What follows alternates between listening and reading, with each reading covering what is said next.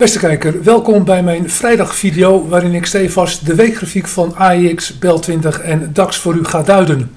Het is momenteel tegen de klok van 12 uur op vrijdag 19 januari, dus houd er even rekening mee dat in de loop van de middag en wellicht nog wat verschuivingen kunnen plaatsvinden.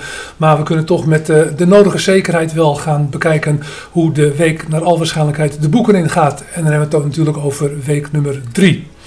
Laten we beginnen met de AEX weekgrafiek. Dus interessant voor de trendvolgende beleggers die het uh, ja, wat zoeken op langere termijn.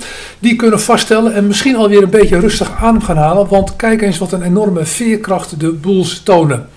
Natuurlijk, de indicatoren staan allemaal nog in correctiestand. Dus wat dat betreft moeten we nog rekening houden met wellicht nog wat extra beren tikken.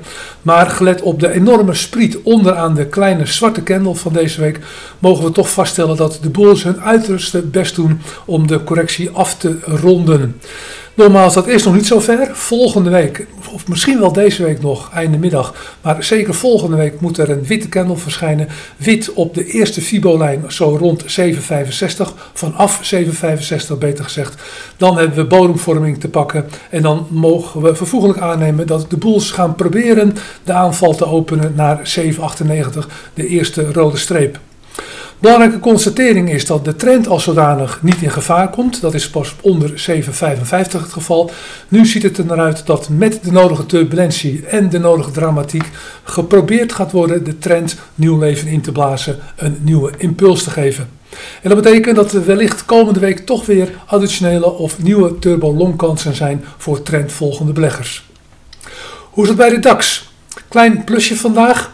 En daar zien we eigenlijk een iets afwijkend beeld ten opzichte van de AIX. Namelijk voor de zoveelste achtereenvolgende week een zijwaartse beweging. Afwisselend wit-zwart. En u weet, ik noem dat een zebra grafiek. Er is weinig te beleven op dit moment op dit speelveld. Ook hier correctiestanden bij de indicatoren. En hier kan ik kort over zijn. Ondanks ook wel een redelijke veerkracht bij de bulls.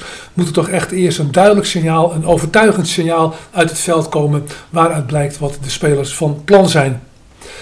En dan hebben we de Bel 20. Vandaag bijna een procent erbij geplust. En dat is en blijft nog steeds een achterlopertje. Hier zien we een zwarte candle klevend onderaan de SMA-lijn. Dus wel degelijk een negatieve overgangsfase. Sterker nog, de DBS geeft zelfs een enter short coaching aanbeveling aan. Maar ik zal daar eventjes voorzichtig mee zijn. Want het is een eerste zwarte candle onder de SMA-lijn. En het zou zomaar kunnen dat de bulls komende week terugkomen. Op zijn minst met een pullback om die SMA-lijn weer op te gaan zoeken. En misschien dat ze erboven gaan bewegen. In ieder geval een uh, zwak beeld. Zeker niet zo positief als de AX en minder dan bij de DAX. Maar goed, uh, het zij zo. Verschillende rangen en standen bij de indices. En uh, aan u de keuze om daar wat mee te gaan doen. Ik wens u voor straks een goed en plezierig weekend.